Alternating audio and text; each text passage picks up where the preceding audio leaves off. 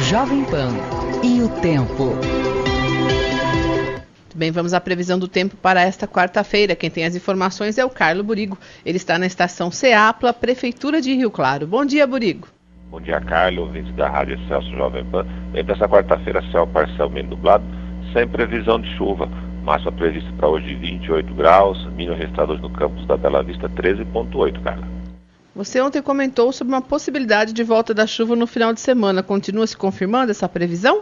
Ainda tem, é baixa, né? Pouco menos de 30% no sábado, né? Depois a partida de domingo o sol volta de novo, Carla. Então teremos dias de sol e de calor para, para essa semana e os próximos dias. Ah, sim, a partir de amanhã as temperaturas começam a elevar de novo, as máximas previstas de 31 e 33 graus e as minas variando entre 19 e 20 graus, Carla. Tá certo, Burigo. Obrigada pelas informações e tenha um bom dia. Bom dia, abraço a todos. Você também pode acompanhar a previsão do tempo no canal do Jornal Cidade no YouTube. Acesse youtube.com/jornal Cidade e faça sua inscrição.